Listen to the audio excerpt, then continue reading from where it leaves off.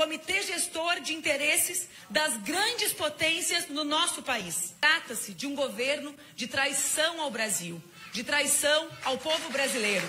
Ele também é um golpe antipopular, porque para cumprir essa cartilha precisa diminuir o Estado, superexplorando os trabalhadores e as trabalhadoras. Daí os cortes que estão acabando com um conjunto de serviços públicos. Daí a reforma trabalhista, daí a PEC do teto dos gastos, daí os ataques como nunca antes vistos ao Sistema Único de Saúde, daí o ataque à educação, às universidades. Eu sou candidata para defender o nosso país da cobiça das grandes corporações e das grandes potências internacionais.